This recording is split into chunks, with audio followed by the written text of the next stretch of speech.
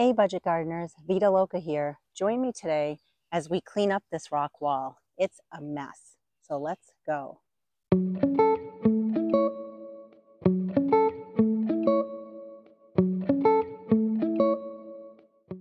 We're on the east side of my house and this rock wall has looked beautiful at times with the creeping phlox draping over the rocks.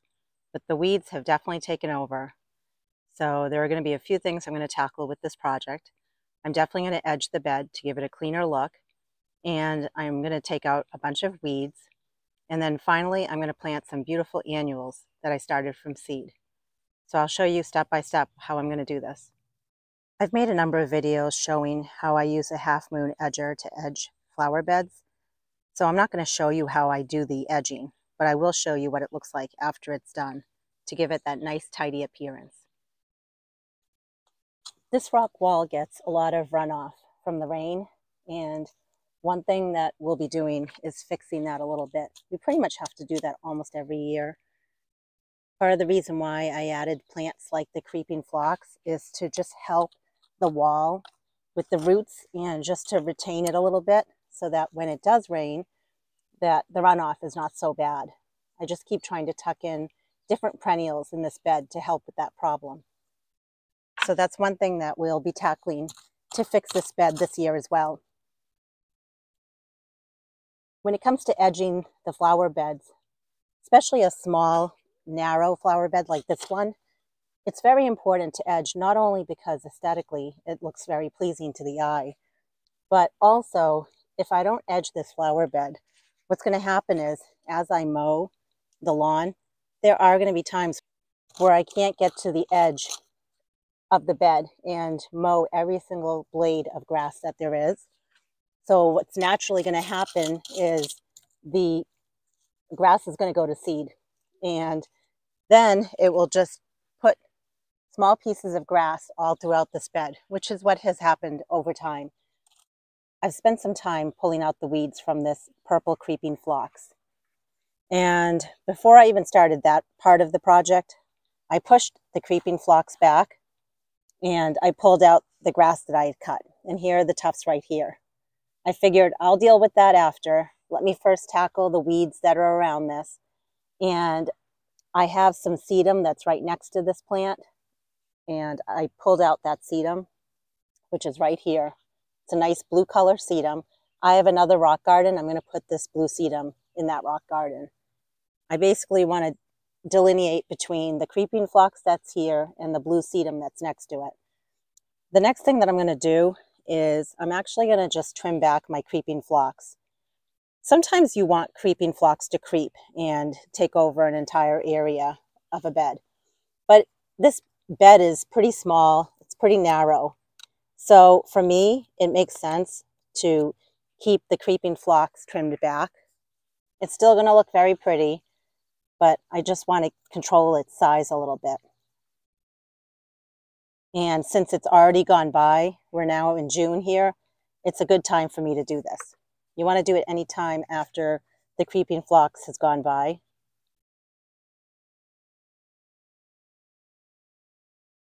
And I'm not going to do the top. I'm just doing the sides of it.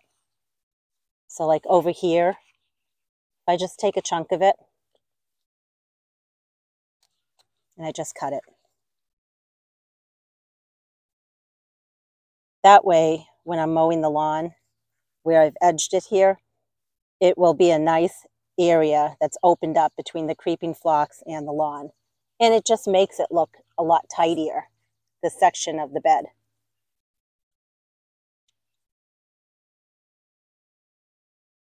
I'll finish up with trimming this around here, but I want to show you one more thing.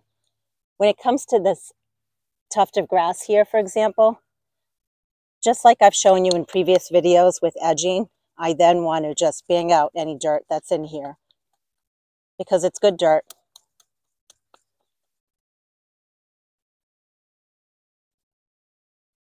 And then I can take this tuft of grass and just put it in my compost pile and it'll break down. Typically, the grass breaks down a little bit slower than, let's say, vegetable and fruit scraps, but it does break down over time. So that's pretty good. And then what I'm just going to do is even out the soil right here. So I'm going to finish cutting this back and I'm going to get the dirt out of these couple of piles here and I will keep on working in this direction of the bed. I love this blue color sedum. I think it's very pretty. And this is where I've been trying to pull out weeds. And I'll be honest, the weeds are stuck right inside of the sedum. So I've tried to pull the weeds out. They're not coming out easily for me. I don't want to just cut the weeds back and leave it so it looks kind of pretty because the weeds are just going to grow back very quickly. And what I also did here was I pulled out the tufts of grass that I had edged and you can see they're pretty big, the tufts of grass. So in order for me to work, I just needed them out of my way. And I think what I'm going to do now, since I'm not able to easily weed this, I'm going to dig this out. I'm going to pull out the weeds. I'm going to divide this in half. And I'm going to put half of this on the other side of this creeping phlox. I think that will look really pretty. So let me go ahead and dig this out for you. And I'll show you how I pull the weeds out of it.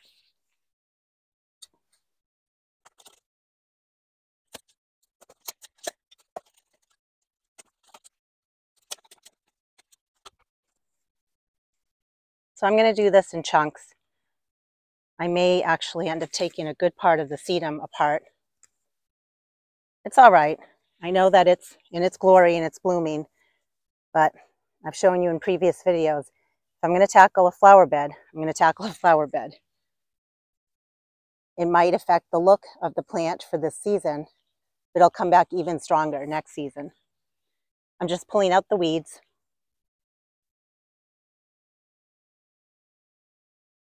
Sometimes you just need to do that. You need to dig out a whole plant, pull out the weeds from the plant, and then get the plant back in the ground. And that's probably a good time to decide, does that plant need to go back in the same spot? Can you divide the plant? Today is an overcast day and we have rain coming tonight and tomorrow. So this is an ideal time for me to be doing this type of project.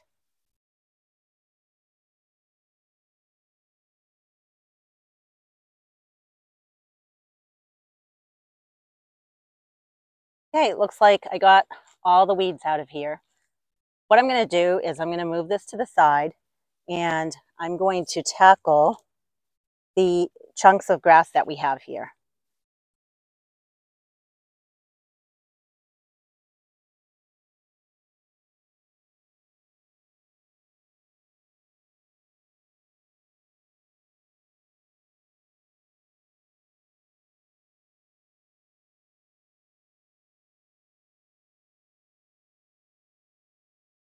What a nice clean spot. So let's go ahead and plant some of the sedum together. I think I'm going to plant it right in the center here because I have a creeping phlox here and another one on this side. So we want to leave some room here. And I always make sure just to see that there's some root here. And the key is to make sure that the green foliage of the plant is above the soil line and the roots are below the soil line. I'm just tucking them in. While I'm doing this, I'm making sure if I find a stray weed, I'm pulling it out. We don't need weeds to return. Just like any perennial that you're moving during the summer or even late spring, it might be sad for a few days, but as long as you're giving it some water, it should bounce back. I think that's good enough. Push everything in. So I'm going to go ahead and plant one more over there. And then after I'm done with that, we're going to keep on working this way. I didn't record this, but what I did was I dug out a purple creeping phlox that was over here and I divided it. And so I have two pieces here. This will fill up nicely in this section. And I still have plenty of that purple creeping phlox left. I'm going to pot it up and figure out what I'm going to do with it. I'm either going to put it in a different section of my yard or I'm going to put it in the backyard nursery sale that I have going on right now. Within this weedy mess is a very pretty creeping phlox. It has two different colors to it. And what I'm going to do first is weed around it.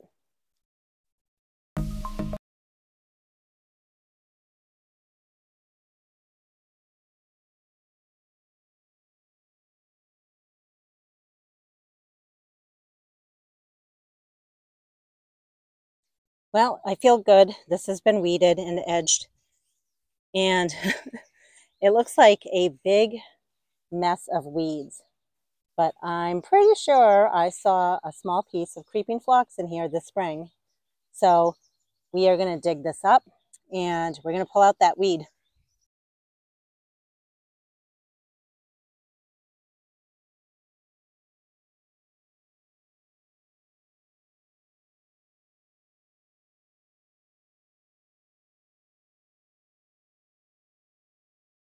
I want this to look nice. So it's worth spending the extra effort to go through it, do it properly, and it should reward me next year when the creeping phlox is blooming in this bed and I show you a video and it's going to look so beautiful.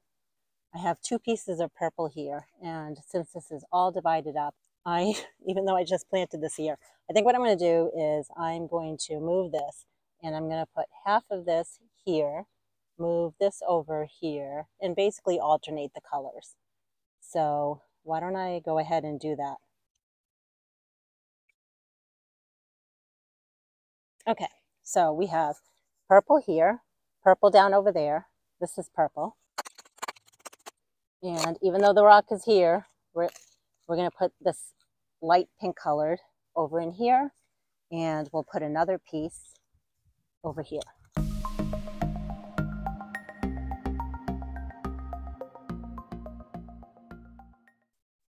There we go. I am going to continue working this way. We have a patch of sedum that we're going to tackle next, and we're going to continue edging. The sedum's very pretty. It has a little yellow blossom to it, after I'm done weeding and edging this section, I'll zoom in so I can show you what it looks like because it's just starting to bloom.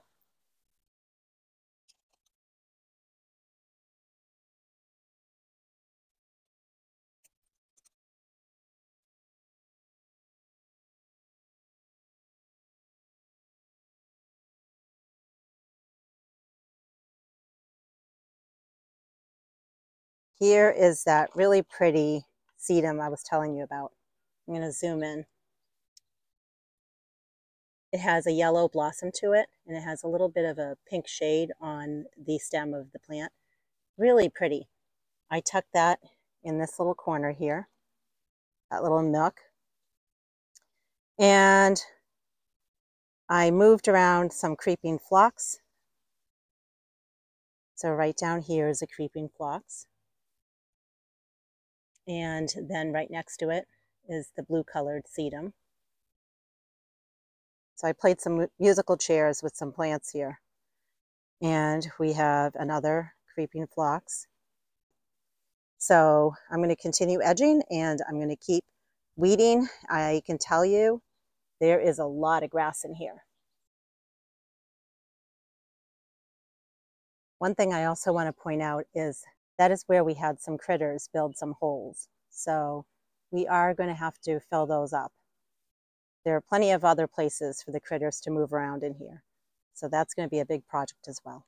I'm making pretty good progress. It's looking a lot better than it did before. You can see it has a nice edge here. And I did pull out some of the grass. I'm really trying hard to pull it out without pulling out this whole entire clump of creeping phlox. What I want to show you is when it comes to my creeping phlox, again, I'm going to give it a haircut and just trim it because I plan on putting some annuals in here and I really don't want all this encroaching onto the space where the annuals are going to go. And you can see it's a big, huge mat. It's a beautiful plant that goes that way, and it really doesn't need to come this way. And that's important. If you have creeping phlox, don't feel like you can't do this. You totally can do it. In fact, it's good for the plant to give it a nice round shape to it. I'm just kind of pulling at it. And if I find a piece that's long, then I'm going to cut it.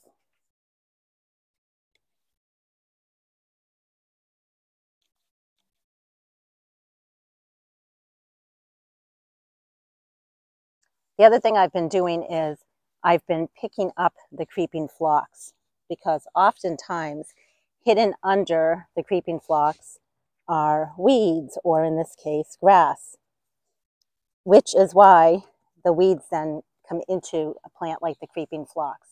So you want to pick up the plant and look for any weeds and remove those. I'm going to keep giving this a trim this way as well as this way. I'm going to come in here and as best as I can pull out the grass and it won't pull out easily. So I'm going to have to use something like a hand tool and really pull out the grass. If I end up pulling some of the creeping phlox out with it, I'm fine with that because it will just regrow. It will fill in any patches that are created. So let me go ahead and do that. And I'm going to keep working this way and I'll show you how I'm doing as I go along. Day one of this project is complete. The next thing to do is to add some creeping phlox in the areas that are bare and then also to add a whole bunch of annuals into this spot. It's now day two of this project and I have a plan for at least the creeping phlox. I know that right here is a big chunk of a pink colored creeping phlox. You can see it's still in bloom, just barely. And then the rest of it on the top part of this rock wall is a white color creeping phlox. I think it would look really pretty to have some of this pink mixed in in the center over here where we're missing some creeping phlox. When it comes to retaining walls, it's really important to fill it in with plants such as creeping phlox that can grow and the roots can take over in this area. It really helps with erosion and like when it rains very heavily. I don't want this rock wall to wash out again. So I want to make sure I'm planting things, especially tucked into the parts of the rock wall towards the top part here in the front.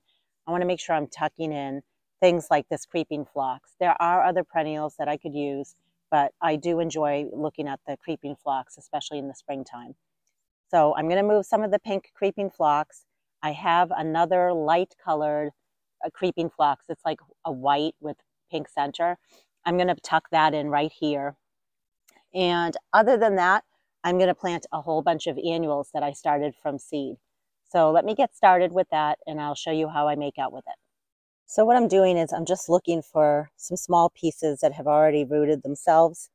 And I just want to dig out some sections of this pink creeping phlox.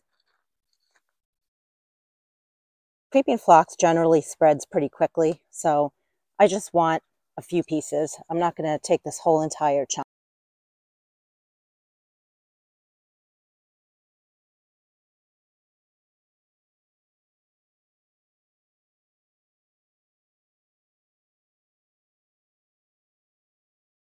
My friend who also has a backyard nursery and it says on here creeping phlox light pink with a dark pink eye. So I think this is going to look very pretty next to this darker pink colored creeping phlox I'm almost sure that I have some of this creeping phlox down there along with the purple but I'll find out in the spring if that's the case. You never have enough creeping phlox in my opinion the irrigation ran last night, so the soil is nice and wet, which makes this a great time to be doing this type of planting project. And I'm okay with these being this close to each other. Next spring, if I want, I can always give this a haircut and cut this back a little bit. Okay, let's go ahead and plant this darker pink somewhere down there where I see an open spot. Right here is where the water came down and you can see it pushed this creeping phlox down this way. This is more of the white creeping phlox that I have on both sides here. I'm just going to tuck some of this right here with the hopes that this will spread down this way as well as down over this way. Just like I always do whenever I dig up creeping phlox, I just want to make sure that I'm keeping all the green pieces above the soil line and all the roots at the bottom of the soil line.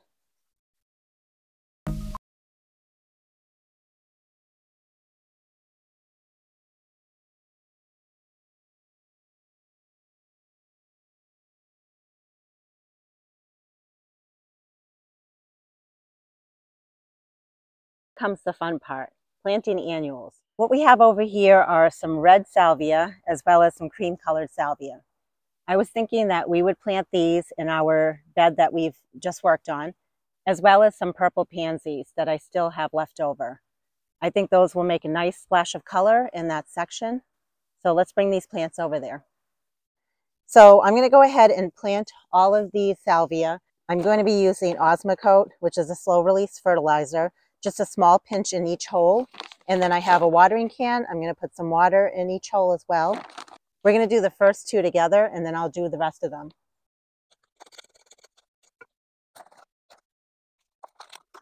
The roots are not too bad, so I'm not going to tease the roots at all.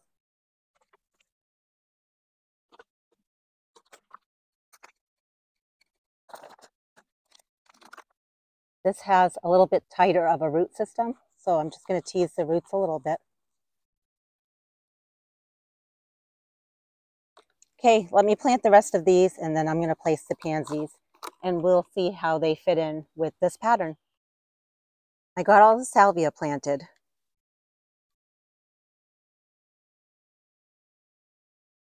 Okay, time to get the pansies in.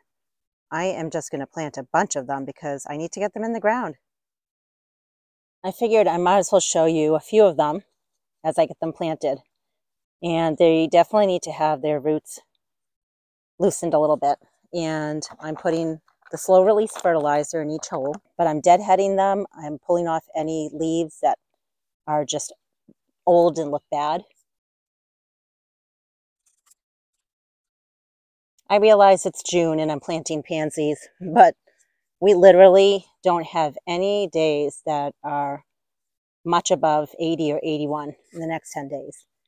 Actually, most of the days are in the 60s to 70s. So the pansies are still fine. Plus, I need to plant them. Um, I need to get them in the ground. They're better in the ground than they are in the pots. Most of these pansies are purple. There are a few that are yellow. So what I'm going to do is plant all the purple ones, but I'm going to leave a few spots and pop in the yellow ones because I just think that will look nice in this bed. Okay, I'm going to go ahead and finish up this project with the pansies. And this project is complete.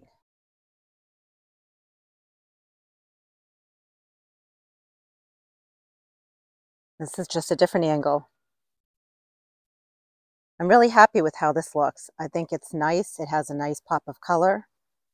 Pretty simple, but clean. Thank you for following me along with this journey with this rock wall.